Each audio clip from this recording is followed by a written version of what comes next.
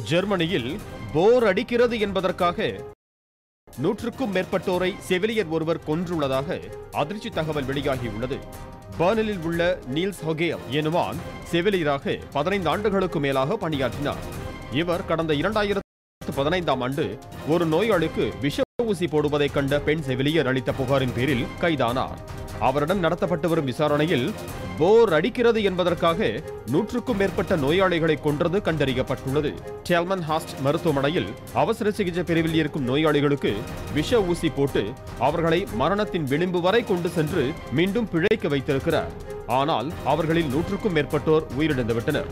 முப்பதுக்கும் மேற்பட்டோர் எப்படியெல்லாம் துடிதுடித்து உயிரிழந்தார்கள் என்பதையும் கைதான செவிலியர் ரசனையோடு தெரிவித்ததாக போலீசார் கூறுகின்றனர். ஜெர்மனி மருத்துவ வரலாற்றில் இப்படி ஒரு வழக்கை பார்த்ததில்லை எனவும் அவர்கள் தெரிவித்துள்ளனர்.